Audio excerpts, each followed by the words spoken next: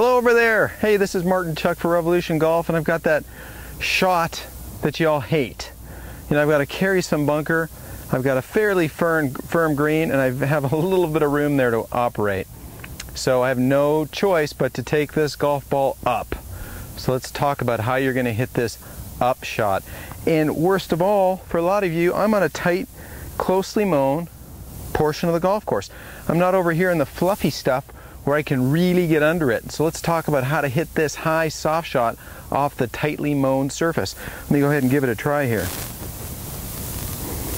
See how well I do. This shot's pretty tough. Gotta have a lot of speed here.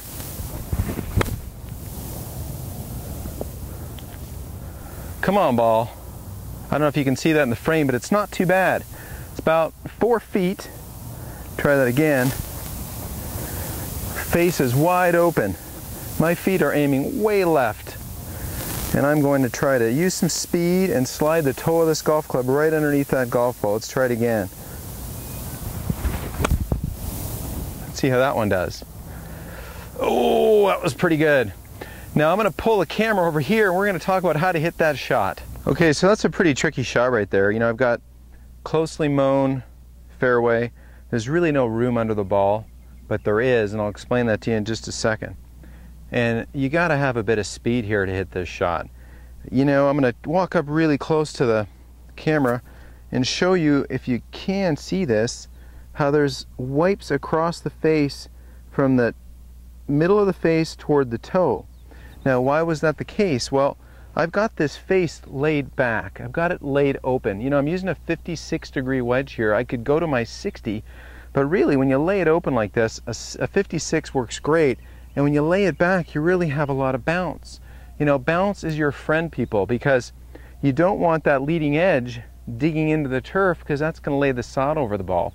What you want is when that ball is sitting there, I've got this ball well forward I've got this club laid well back. This handle here is squared up with a with the with a camera and I'll just go ahead and hit one this way for you for a second. The handle's back. I've got the toe, the ball's played toward the toe here, and I'm going to slide this underneath the ball.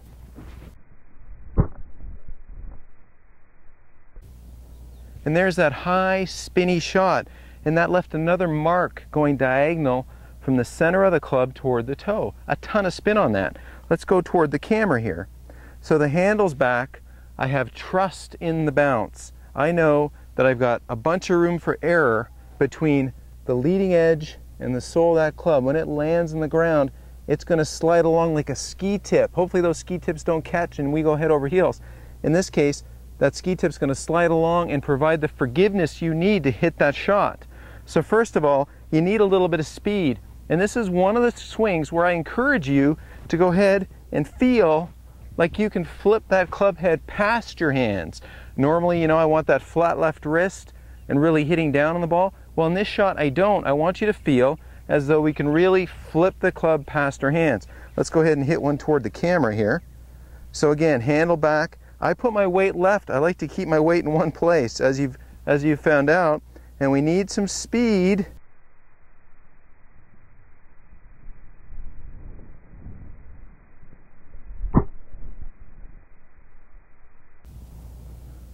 And there's a good one. I know you couldn't see the result, but it's up there reasonably close. I can make that putt about six feet. So a lot of people don't have the nerve to hit this because they don't understand how some of this stuff works in your favor. That bounce, when the handle's back and the bounce is really exposed by turning the face to the right, it's really hard to take a divot. I'm hitting down super hard there, and all I'm doing is really mashing the ground with a massive amount of bounce. I'm not taking the club, turning it leading edge down, and sticking it in the ground. Okay, we don't want to do that. That's how you're going to lay the sod over it. The shot's rather forgiving. In fact, I'm not even hitting the golf ball first. I'm picking a spot behind the ball. I'm looking at the grass, kind of like a bunker shot. I'm looking at the grass, and this is the part that I'm going to hit about a half inch to an inch behind the golf ball, trusting the bounce. Let's do it again.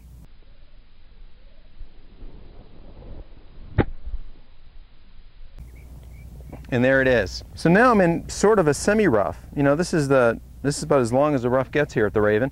But now I've got a bunch of room underneath that ball, and this makes a lot of you feel more comfortable. Me personally, I'd rather have that tight lie because I know that I can take that club, force it down, skid it along the ground using the bounce as a ski tip.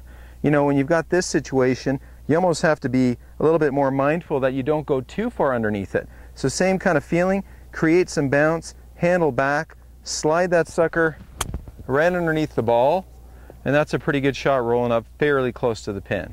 So Martin Chuck for Revolution Golf, come on down here and see me sometime. Post your questions and comments below. I'll get to as many as I can.